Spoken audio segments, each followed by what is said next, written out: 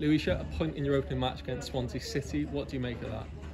Girls were ecstatic. Like we're, we're over the moon. Like coming into this game, we knew it was going to be a battle. They're one of the top teams in the league. So coming away with a draw and a point, absolutely over the moon. And obviously Swansea are six times champions in this division. What Yeah. sort of challenge was that like for you for an opening game? We knew it was going to be a hard challenge, and we knew we were going to have to graft. Um, training all week has been fantastic. Intensity has been great.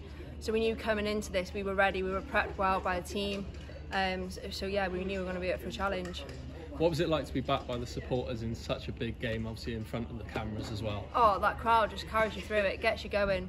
Um, especially when we were drawing, it gets us going every time, and it's nice to see them getting our backs. And then obviously Dal sustained a, an unfortunate injury towards the end there. Yeah. How important was it that the girls dug in and were able to get something out of this game after that? It was important that we stuck as a team. I mean, obviously losing Dal was a big loss, but um, Charlie's more than capable to fill that in. And like I say, as long as we stuck as a team and dug deep right to the very end, that was what was important. And then obviously for yourself, a competitive debut in a Wrexham shirt. What was that feeling like for you? Oh, it was fantastic. I loved every second of it. I mean, for me, I think that was personally my best best game for Wrexham so far. So, um, yeah, absolutely buzzing. Obviously in front of the crowd, can only go better now. And then obviously another big test next week. What, what are you making of that? I mean, going off that performance, obviously we've set our standards high um, from the start. So, hopefully next weekend we'll go bigger and better and get three points. Cheers, Louisha. Thank you.